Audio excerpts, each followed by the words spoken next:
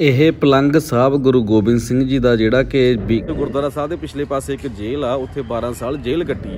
ਤੇ ਇਹਦੇ ਥੱਲੇ ਕਹਿੰਦੇ ਇਹ ਘੱਟੋ ਘੱਟ 200 ਫੁੱਟ ਡੂੰਘਾ ਇਹ। ਤਾਂ ਧੱਕਾ ਬਾਜ਼ਾਰ ਹੀ ਕਹਿਦੀ ਇਹਨੂੰ ਧੱਕਾ ਹੀ ਪੈਂਦਾ ਇੰਨਾ ਇਕੱਠ ਹੈ ਠੀਕ ਹੈ ਯਾਰ ਆਹ ਤਾਂ ਚੀਜ਼ ਵਧੀਆ ਯਾਰ ਹਨਾ?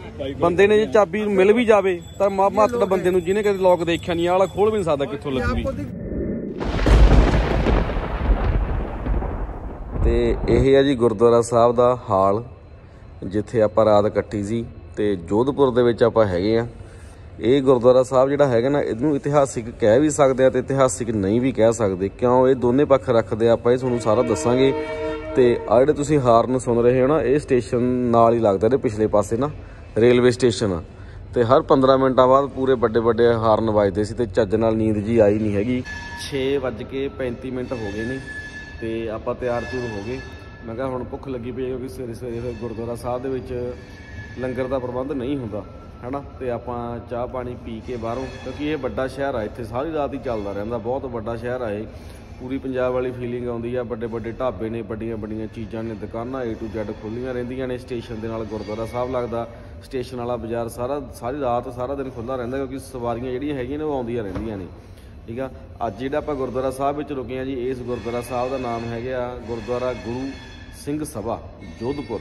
ਸਿੰਘ ਸਭਾ ਗੁਰਦੁਆਰਾ ਸਾਹਿਬ ਤੁਹਾਨੂੰ ਪਤਾ ਹੋਣਾ ਕਿ ਜਿਹੜੇ ਲੋਕਲ ਗੁਰਦੁਆਰਾ ਸਾਹਿਬ ਹੁੰਦੇ ਨੇ, ਇਤਿਹਾਸਿਕ ਨਹੀਂ ਹੁੰਦੇ, ਲੋਕਲ ਕਮੇਟੀ ਦੇ ਅੰਡਰ ਹੁੰਦੇ ਨੇ, ਉਹਨਾਂ ਦੇ ਨਾਮ ਹੀ 90% 95% ਸਿੰਘ ਸਭਾ ਗੁਰਦੁਆਰਾ ਸਾਹਿਬ ਹੁੰਦੇ ਨੇ। ਤੇ ਇਹ ਵੀ ਗੁਰਦੁਆਰਾ ਸਾਹਿਬ ਦਾ ਨਾਮ ਉਵੇਂ ਹੀ ਆ ਤੇ ਇਹਨੂੰ ਇਤਿਹਾਸਿਕ ਕਿਹੜੇ ਪੱਖ ਨਾਲ ਆਪਾਂ ਕਹਿ ਸਕਦੇ ਹਾਂ, ਗੁਰੂ ਗੋਬਿੰਦ ਸਿੰਘ ਜੀ ਦੇ ਨਾਲ ਇਹਦਾ ਇਤਿਹਾਸ ਜੁੜਿਆ ਹੋਇਆ। ਉਹ ਸਾਰੀ ਸਾਨੂੰ ਅੱਜ ਦੀ ਵੀਡੀਓ ਦੇ ਵਿੱਚ ਆਪਾਂ ਦੱਸਾਂਗੇ ਤੇ ਗੁਰੂ ਗੋਬਿੰਦ ਸਿੰਘ ਜੀ ਦੀ ਇੱਕ ਨਿਸ਼ਾਨੀ ਵੀ ਪਈ ਆ, ਉਹਦੇ ਵੀ ਦਰਸ਼ਨ ਕਰਵਾਵਾਂਗੇ। ਉਹ ਨਿਸ਼ਾਨੀ ਇੱਥੇ ਆਈ ਕਿਵੇਂ ਆ, ਹਨਾ? ਉਹ ਸਾਰਾ ਤੁਹਾਨੂੰ ਅੱਜ ਦੀ ਵੀਡੀਓ ਦੇ ਵਿੱਚ ਆਪਾਂ ਦੱਸਾਂਗੇ। ਜੋਧਪੁਰ ਦੇ ਵਿੱਚ ਅੱਜ ਆਪਣੀ ਇਹ ਪਹਿਲੀ ਵੀਡੀਓ ਆ, ਗੁਰਦੁਆਰਾ ਸਾਹਿਬ ਤੋਂ ਆਪਾਂ ਇਹਦੀ ਸਟਾਰਟਿੰਗ ਕਰ ਰਹੇ ਹਾਂ। ਇਸ ਤੋਂ ਬਾਅਦ ਫਿਰ ਹੋਰ ਜੋਧਪੁਰ ਦੇ ਵਿੱਚ ਜਿਹੜੇ ਚੀਜ਼ਾਂ ਦੇਖਣ ਵਾਲੀਆਂ ਹੈਗੀਆਂ ਨੇ, ਤੁਹਾਨੂੰ ਉਹ ਦਿਖਾਵਾਂਗੇ। ਪਹਿਲਾਂ ਇਸ ਗੁਰੂ ਘਰ ਬਾਰੇ ਤੁਹਾਨੂੰ ਸਮਝਾ ਦਈਏ। ਤੇ ਇੱਕ ਦੋ ਚੀਜ਼ਾਂ ਇੱਥੇ ਹੋਰ ਨੇ। ਇੱਕ ਤੁਸੀਂ ਰਾਗੀ ਬਾਰੇ ਸੁਣਿਆ ਹੋਣਾ ਜਿਹਨਾਂ ਦਾ ਨਾਮ ਆ ਜੀ ਸੁਰਿੰਦਰ ਸਿੰਘ ਜੋਧਪੁਰੀ, ਹਨਾ? ਉਹ ਸੁਰਿੰਦਰ ਸਿੰਘ ਜੋਧਪੁਰੀ ਜੀ ਦੇ ਨਾਲ ਵੀ ਇੱਥੋਂ ਦਾ ਇਤਿਹਾਸ ਜੁੜਿਆ ਹੋਇਆ। ਉਹ ਪੰਜਾਬ ਦੇ ਸੀ, ਪਰ ਉਹਨਾਂ ਨੂੰ ਇੱਥੇ ਜੋਧਪੁਰੀ ਕਿਉਂ ਕਹਿਣ ਲੱਗੇ ਕਿਉਂਕਿ ਹੈ ਤਾਂ ਉਹ ਪੰਜਾਬ ਦੇ ਸੀ ਤੇ ਉਹਨਾਂ ਦੇ ਬਜ਼ਾਗੀਆਂ ਦੇ ਨਾਮ ਪਿੱਛੇ ਨਾ ਕਈ ਵਾਰ ਉਹਨਾਂ ਦਾ ਸ਼ਹਿਰ ਦਾ ਨਾਮ ਲੱਗ ਜਾਂਦਾ ਹੁੰਦਾ। ਜਿਵੇਂ ਕਈ ਵਾਰ ਤਾਂ ਚਲੋ ਉਹਨਾਂ ਦਾ ਸਰਨੇਮ ਲੱਗਿਆ ਹੁੰਦਾ ਜਾਂ ਖਾਲਸਾ ਜੀ ਲੱਗਿਆ ਹੁੰਦਾ, ਹਨਾ? ਜਾਂ ਫਿਰ ਉਹਨਾਂ ਦਾ ਸ਼ਹਿਰ ਦਾ ਨਾਮ ਲੱਗਿਆ ਹੁੰਦਾ। ਤੇ ਜਿਹੜੇ ਸੁਰਿੰਦਰ ਸਿੰਘ ਰਾਗੀ ਹੋਏ ਨੇ, ਉਹਨਾਂ ਦੇ ਪਿੱਛੇ ਸ਼ਹਿਰ ਦਾ ਨਾਮ ਲੱਗਿਆ ਹੋਇਆ ਜੋਧਪੁਰ। ਉਹ ਉਹਨਾਂ ਦੇ ਨਾਮ ਪਿੱਛੇ ਕਿਉਂ ਲੱਗਿਆ? ਕਿਉਂਕਿ ਉਹ ਪੰਜਾਬ ਦੇ ਸੀ, ਤਾਂ ਵੀ ਜੋਧਪੁਰ ਨਾਮ ਪਿੱਛੇ ਲੱਗ ਗਿਆ। ਉਹ ਸਾਰਾ ਤੁਹਾਨੂੰ ਅੱਜ ਦੀ ਵੀਡੀਓ ਦੇ ਵਿੱਚ ਦੱਸਾਂਗੇ। ਤੇ ਇਹ ਹੈ ਜੀ ਗੁਰਦੁਆਰਾ ਸਾਹਿਬ ਦਾ ਬਾਹਰਲਾ ਪਾਸਾ। ਸਾਹਮਣੇ ਜੋੜਾ ਘਰ ਆ, ਠੀਕ ਹੈ ਆ ਪਿਛਲੇ ਪਾਸੇ ਬਿਲਡਿੰਗ ਬਣੀ ਹੋਈ ਹੈ ਬਹੁਤ ਸੋਹਣਾ ਗੁਰੂ ਘਰ ਬਣਿਆ ਹੋਇਆ ਅੰਦਰੋਂ।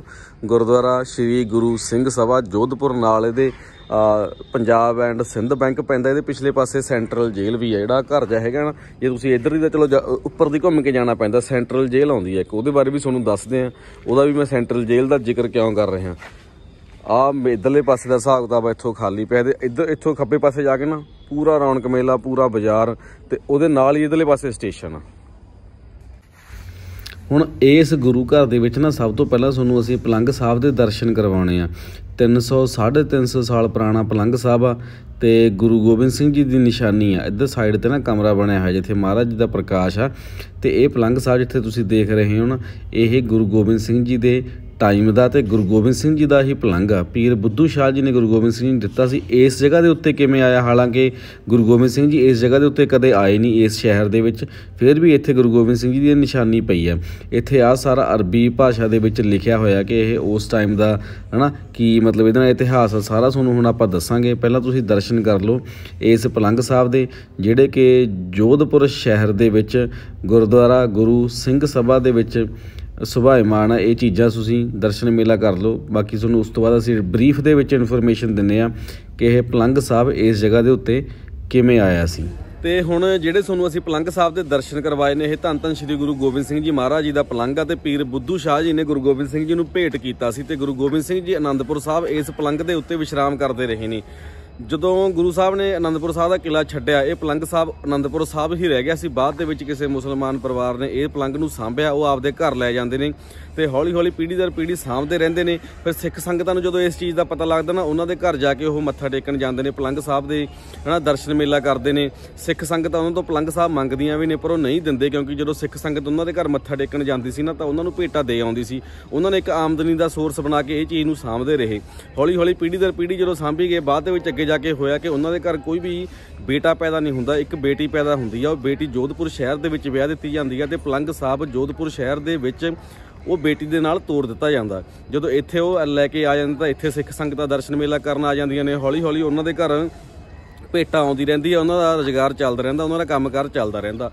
ਪਰ ਬਾਅਦ ਦੇ ਵਿੱਚ ਅੱਗੇ ਜਾ ਕੇ ਕੀ ਹੁੰਦਾ ਕਿ ਇਹੀ ਭੇਟਾ, ਇਹੀ ਪੈਸਾ ਉਹਨਾਂ ਦੇ ਘਰੇ ਕਲੇਸ਼ ਦਾ ਕਾਰਨ ਬਣ ਜਾਂਦੀ ਆ, ਉਹ ਪੈਸੇ ਪਿੱਛੇ ਲੜਨ ਲੱਗ ਜਾਂਦੇ ਨੇ। ਉਹ ਸਮਝਦੇ ਨੇ ਕਿ ਗੁਰੂ ਸਾਹਿਬ ਦੇ ਪਲੰਗ ਦੀ ਜਿਹੜਾ ਭੇਟਾ ਆਉਂਦੀ ਆ, ਉਹਦੇ ਕਰਕੇ ਇਹ ਚੀਜ਼ ਹੁੰਦੀ ਆ। ਆਪਾਂ ਇਹ ਪਲੰਗ ਜਿਹੜੀ ਹੈਗੀ ਆ, ਸਿੱਖ ਸੰਗਤਾਂ ਨੂੰ ਦੇ ਦਿੰਨੇ ਆ। ਤੇ ਉਹ ਸਿੱਖ ਸੰਗਤਾਂ ਇਹ ਚੀਜ਼ ਤੋਂ ਇਹ ਪਲੰਗ ਸਾਹਿਬ ਉਹਨਾਂ ਤੋਂ ਲੈ ਲੈਂਦੇ ਨੇ ਤੇ ਵਾਜਬ ਜਿਹੜੀ ਭੇਟਾ ਹੁੰਦੀ ਆ, ਹਨਾ, ਉਹਨਾਂ ਨੂੰ ਖੁਸ਼ ਕਰਨ ਵਾਸਤੇ, ਗੁਰੂ ਸਾਹਿਬ ਦੀ ਨਿਸ਼ਾਨੀ ਦੀ ਕੋਈ ਮਤਲਬ ਉਹ ਕੀਮਤ ਨਹੀਂ ਲਾਉਂਦੇ, ਪਰ ਉਹਨਾਂ ਦੇ ਪਰਿਵਾਰ ਨੂੰ ਖੁਸ਼ ਕਰਨ ਵਾਸਤੇ ਜਿਹੜੀ ਭੇਟਾ ਹੁੰਦੀ ਆ, ਉਹਨਾਂ ਨੂੰ ਦੇ ਕੇ ਦੇ ਕੇ ਇਹ ਪਲੰਗ ਸਾਹਿਬ ਇੱਥੇ ਲੈ ਆਉਂਦੇ ਨੇ ਤੇ ਸਿੱਖ ਸੰਗਤਾਂ ਇੱਥੇ ਹੁਣ ਅੱਜ ਦਰਸ਼ਨ ਮੇਲਾ ਕਰਨ ਆ ਜਾਂਦੇ ਨੇ ਗੁਰੂ ਸਾਹਿਬ ਜੀ ਦੀਆਂ। ਤੇ ਇੱਕ ਗੱਲ ਸੁਣ, ਇਹ ਇਤਿਹਾਸ ਇੱਥੋਂ ਦਾ ਪਲੰਗ ਸਾਹਿਬ ਦਾ। ਇੱਕ ਤੁਹਾਨੂੰ ਮੈਂ ਹੋਰ ਗੱਲ ਦੱਸ ਦਾਂ ਕਿ ਭਾਈ ਸੁਰਿੰਦਰ ਸਿੰਘ ਜੀ ਜੋਧਪੁਰੀ ਜਿਹੜੇ ਹੋਏ ਨੇ, ਜਿਨ੍ਹਾਂ ਦਾ ਆਪਾਂ ਸ਼ਬਦ ਸੁਣਦੇ ਰਹੇ ਆ ਛੋਟੇ ਹੁੰਦੇ ਆਪਾਂ ਕਹਿੰਦੇ ਹੁੰਦੇ ਹਰ ਜੀ ਉਹ ਨਹੀਂ ਮਾਣਿਆ, ਤੂੰ ਮਾਨ ਹਨਾ, ਇਹ ਸ਼ਬਦ ਹੁੰਦਾ ਉਹਨਾਂ ਦਾ ਬਹੁਤ ਚੱਲਦਾ ਹੁੰਦਾ ਸੀ ਅੱਜ ਤੋਂ 15 16 ਸਾਲ 15 16 ਸਾਲ ਪਹਿਲਾਂ ਦੀ ਗੱਲ ਆ। ਤੇ ਉਹ ਭਾਈ ਸੁਰਿੰਦਰ ਸਿੰਘ ਜੀ ਜਿਹੜੇ ਹੈਗੇ ਸੀ, ਉਹ ਹੈਗੇ ਸੀ ਪੰਜਾਬ ਦੇ। ਉਹਨਾਂ ਦੇ ਨਾਂ ਪਿੱਛੇ ਜੋਧਪੁਰੀ ਇਸ ਕਰਕੇ ਲੱਗਣ ਲੱਗ ਗਿਆ ਕਿਉਂਕਿ ਇੱਥੋਂ ਦੇ ਜਿਹੜੇ ਪਾਠੀ ਸਿੰਘ ਸੀ ਜਾਂ ਜਿਹੜੇ ਰਾਗੀ ਸਿੰਘ ਸੀ, ਉਹਨਾਂ ਨੇ ਸਾਨੂੰ ਦੱਸਿਆ ਕਿ ਸੁਰਿੰਦਰ ਸਿੰਘ ਜੀ ਨੇ ਇਸ ਇਸ ਗੁਰਦੁਆਰਾ ਸਾਹਿਬ ਦੇ ਪਿਛਲੇ ਪਾਸੇ ਇੱਕ ਜੇਲ੍ਹ ਆ, ਉੱਥੇ 12 ਸਾਲ ਜੇਲ੍ਹ ਕੱਟੀ ਆ। ਉਹ ਜੇਲ੍ਹ ਨੂੰ ਕੱਟਣ ਕਰਕੇ ਉਹਨਾਂ ਦੇ ਨਾਮ ਪਿੱਛੇ ਸੁਰਿੰਦਰ ਸਿੰਘ ਜੋਧਪੁਰੀ ਲੱਗਣ ਲੱਗ ਗਿਆ। ਰਹਿائش ਉਹਨਾਂ ਦੀ ਪੰਜਾਬ ਦੀ ਸੀ। ਇਹ 84 ਦੇ ਟਾਈਮ ਦੀ ਗੱਲ ਆ ਖਾੜਕੂਵਾਦ ਦੇ ਟਾਈਮ ਦੀ ਗੱਲ ਆ।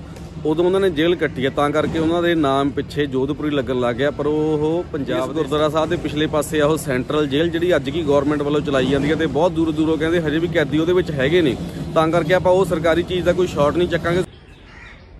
ਇਹੀ ਸੀ ਇਤਿਹਾਸ ਇੱਥੋਂ ਦਾ ਤੇ ਹੁਣ 7 ਵਜੇ ਦੇ ਤਕਰੀਬਨ ਟਾਈਮ ਹੋ ਗਿਆ ਮਾੜੀ ਮਾੜੀ ਧੁੱਪ ਨਿਕਲਣ ਲੱਗੀ ਆ ਟੀਸੀਆਂ ਦੇ ਪੈਣ ਲੱਗੀ ਸਵੇਰੇ ਸਵੇਰੇ ਅਸੀਂ ਤਾਂ ਨਹੀਂ ਚੱਲੇ ਕਿਉਂਕਿ ਫਿਰ ਠੰਡ ਜ਼ਿਆਦਾ ਹੋ ਜਾਂਦੀ ਆ।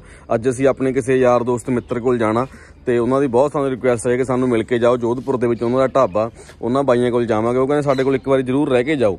ਤੇ ਹਨਾ ਪ੍ਰਸ਼ਾਦਾ ਪਾਣੀ ਵੀ ਕਹਿੰਦੇ ਇੱਥੇ ਹੀ ਛਕਿਓ। ਤੇ ਅੱਜ ਅਸੀਂ ਜੋਧਪੁਰ ਤੋਂ ਉਹ ਥੋੜਾ ਜਿਹਾ 40 ਕਿਲੋਮੀਟਰ ਦੂਰ ਆ। ਪਹਿਲਾਂ ਉਹਨਾਂ ਕੋਲ ਅਸੀਂ ਜਾਵਾਂਗੇ, ਆਰਾਮ ਰੂਮ ਕਰਾਂਗੇ। ਆਪਣਾ ਇੱਕ ਮੋਟਰਸਾਈਕਲ ਉੱਥੇ ਖੜਾ ਕੇ ਦੂਜੇ ਇੱਕੋ ਇੱਕੋ ਹੀ ਮੋਟਰਸਾਈਕਲ ਆ ਖੜਾ ਨਾ, ਇੱਕ ਆ ਖੜਾ, ਇੱਕ ਖੜਾ ਆਵਾਂਗੇ ਉੱਥੇ।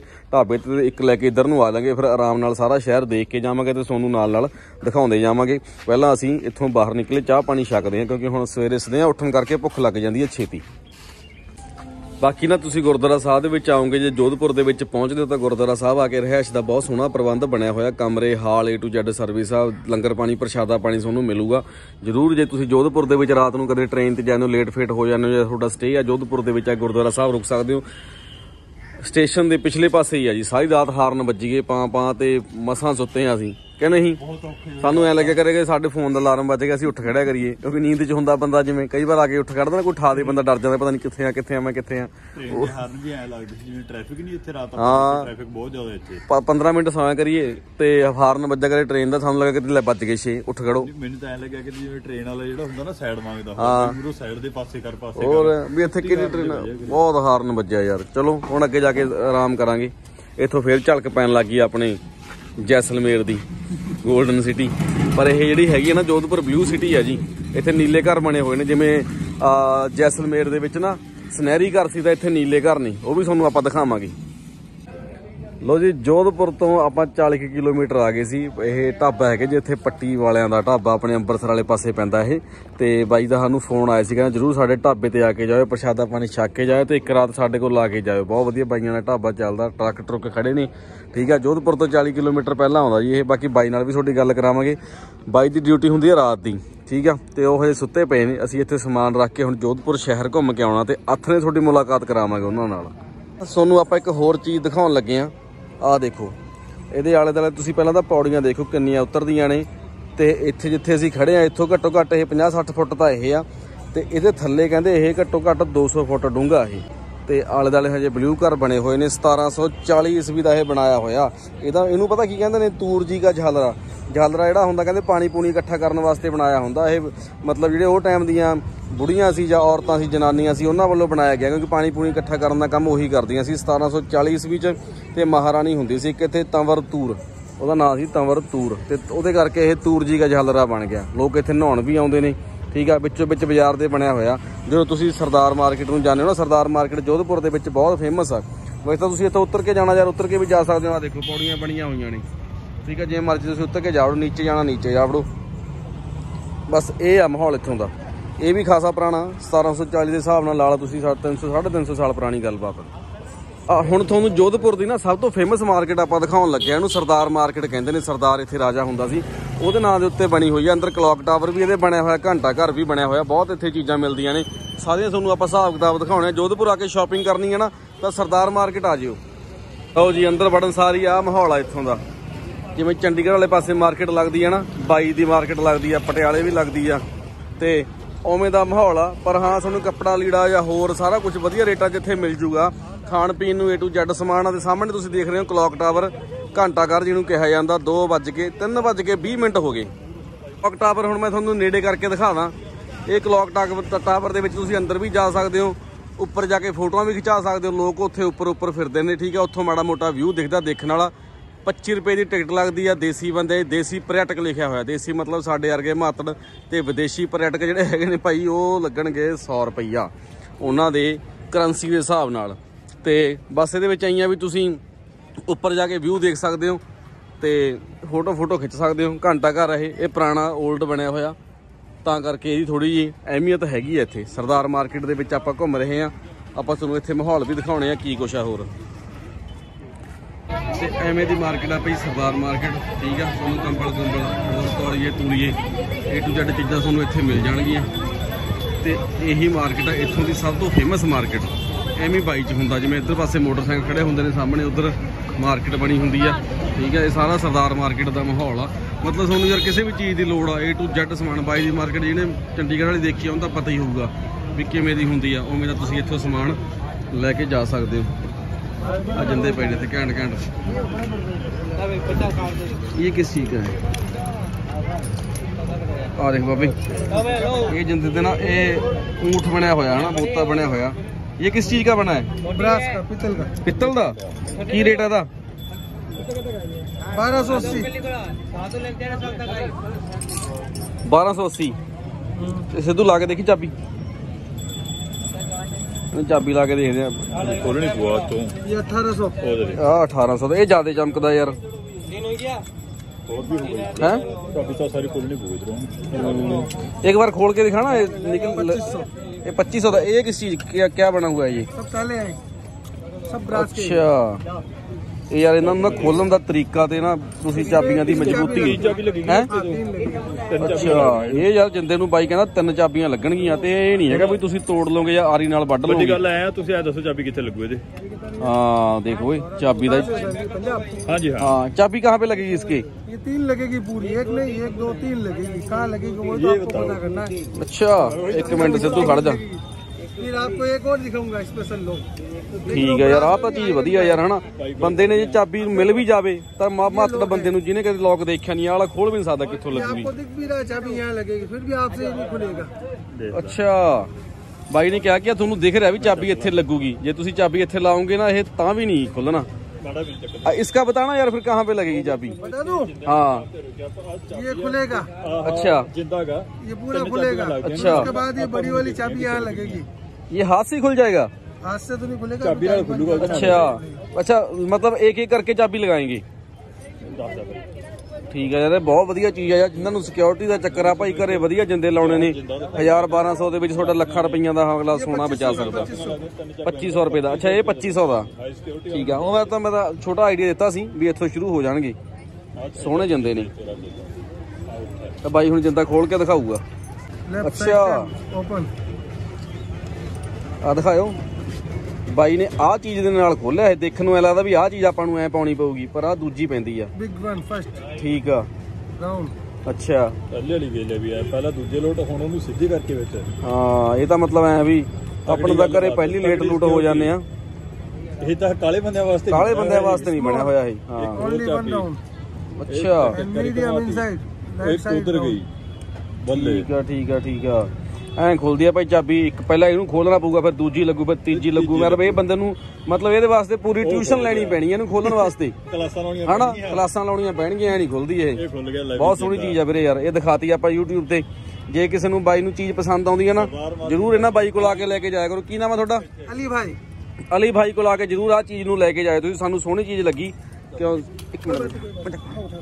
ਹਾਂ ਤੇ ਇਹ ਬਾਈ ਕੋਲ ਜਰੂਰ ਤੁਸੀਂ ਆ ਕੇ ਲੈ ਕੇ ਜਾਇਓ। ਭਾਈ ਸਰਦਾਰ ਮਾਰਕੀਟ ਦੇ ਕਲੌਕ ਟਾਵਰ ਦੇ ਸਾਹਮਣੇ ਬਾਈਆਂ ਦੀ ਦੁਕਾਨ ਆ ਇਧਰਲੇ ਪਾਸੇ ਕਲੌਕ ਟਾਵਰ ਆ ਤੇ ਇੱਥੇ ਬਾਈ ਹੋਰੇ ਬੈੰਦੇ ਨੇ। ਸੋਹਣੇ ਜਿੰਦੇ ਨੇ ਵੀਰੇ ਯਾਰ। ਯਾ ਦਾ ਸੀਕ੍ਰੀਟ ਲੋਕ ਅਨਦਰ ਪੀਪਲ ਓਪਨ ਇੰਪੋਸੀਬਲ ਹਾਂ। ਇਹ ਵੀ ਬਾਈ ਕਹਿੰਦਾ ਇੱਥੇ ਚਾਬੀ ਤੁਹਾਨੂੰ ਦੇਖਣ ਨੂੰ ਲੱਗ ਰਿਹਾ ਵੀ ਇੱਥੇ ਤੁਸੀਂ ਚਾਬੀ ਪਾ ਦੋਗੇ ਪਰ ਇੱਥੋਂ ਵੀ ਨਹੀਂ ਖੁੱਲਦਾ ਇਹ। ਠੀਕ ਆ। ਇਹ ਪੂਰਾ ਬੰਦ ਹੋ ਚਾਬੀ ਉਵੇਂ ਹੀ ਕੱਢਣੀਆਂ ਜਿਵੇਂ ਲਾਈਆਂ ਨੇ। ਜਿਵੇਂ ਲਾਈਆਂ ਨੇ ਉਵੇਂ ਹੀ ਕੱਢਣੀਆਂ ਨੇ ਤਾਂ ਉਵੇਂ ਬੰਦ ਹੋਊਗਾ ਇਹ। ਬਾਹਰ ਆਨੇ ਤੇ ਬੰਦ ਹੋ ਗਿਆ। ਹਾਂ। ਸਭ ਕੋਈ ਬੰਦ ਹੋ ਗਿਆ। ये पूरा लॉक कवर हो जाएगा ਅੱਛਾ धीरे धीरे धीरे ਬਹੁਤ ਸੋਹਣੀ ਚੀਜ਼ ਆ ਬਾਈ ਹਾਂ ਬੜੀ ਯੂਨੀਕ ਚੀਜ਼ ਦੇਖੀ ਅਸੀਂ ਇਹ ਇਹ ਸਿਰਫ ਸਰਦਾਰ ਮਾਰਕੀਟ ਦੇ ਵਿੱਚ ਹੀ ਦੇਖਣ ਨੂੰ ਮਿਲੂਗਾ ਤੁਹਾਨੂੰ ਹਿਸਾਬ ਕਿਤਾਬ ਇੱਧਰ ਵੀ ਜਵਾਕਾਂ ਦੇ ਕੱਪੜੇ ਕੁੱਪੜੇ ਪਏ ਨੇ ਤੇ ਐਂ ਦਾ ਮਾਹੌਲ ਆ ਵਧੀਆ ਮਤਲਬ ਹੁਣ ਤੁਹਾਨੂੰ ਪਤਾ ਹੀ ਆ ਵੀ ਇਹ ਯਾਰ ਬਾਜ਼ਾਰਾਂ ਦੇ ਵਿੱਚ ਤੁਹਾਨੂੰ ਬਹੁਤ ਯੂਨੀਕ ਚੀਜ਼ ਦੇਖਣ ਨੂੰ ਮਿਲਦੀ ਹੁੰਦੀ ਹੈ ਇਹੋ ਜੀ ਕਾਰੀਗਰੀ ਤਾਂ ਵੱਧ ਆ ਕੱਪੜਾ ਲੀੜਾ ਤਾਂ ਤੁਹਾਨੂੰ ਪਤਾ ਹੀ ਆ ਬਾਈ ਯਾਰ ਕਿਵੇਂ ਮਿਲ ਜੂਗਾ ਇਧਰ ਤੁਸੀਂ ਅੰਦਰ ਜਾਓਗੇ ਨਾ A to Z ਸਾਰਾ ਘੁੰਮ ਕੇ ਪੂਰਾ ਬਾਈ ਦੀ ਮਾਰਕੀਟ ਵਾਲਾ ਮਾਹੌਲ ਆ ਇਹ ਚੀਜ਼ ਸਾਨੂੰ ਸਭ ਤੋਂ ਯੂਨੀਕ ਲੱਗੀ, ਤਿੰਨ ਚਾਬੀਆਂ ਨਾਲ ਜਿੰਦਾ ਖੁੱਲਦਾ ਸੀ। ਤੇ ਇਹ ਆ ਜੀ ਸਰਦਾਰ ਮਾਰਕੀਟ ਦਾ ਪੂਰਾ ਧੱਕਾ ਬਾਜ਼ਾਰ ਹੀ ਕਹਿ ਦਈਏ, ਇਹਨੂੰ ਧੱਕਾ ਹੀ ਪੈਂਦਾ, ਇੰਨਾ ਇਕੱਠ ਆ ਇੱਥੇ। ਤਾਂ ਉਹ, ਜੇ ਤੁਸੀਂ ਕਹੋਗੇ ਸਵਾ ਸੌ ਕਰੋੜ ਦੀ ਆਜ਼ਾਦੀ ਇੰਡੀਆ ਦੀ ਕਿੱਥੇ ਆ? ਤਾਂ ਆ ਫਿਰਦੀ ਆ। ਜੋਧਪੁਰ, ਰਾਜਸਥਾਨ ਦਾ ਸਭ, ਦੂਜੇ ਨੰਬਰ ਤੇ ਸਭ ਤੋਂ ਵੱਧ ਆਬਾਦੀ ਵਾਲਾ ਜ਼ਿਲ੍ਹਾ ਜੀ।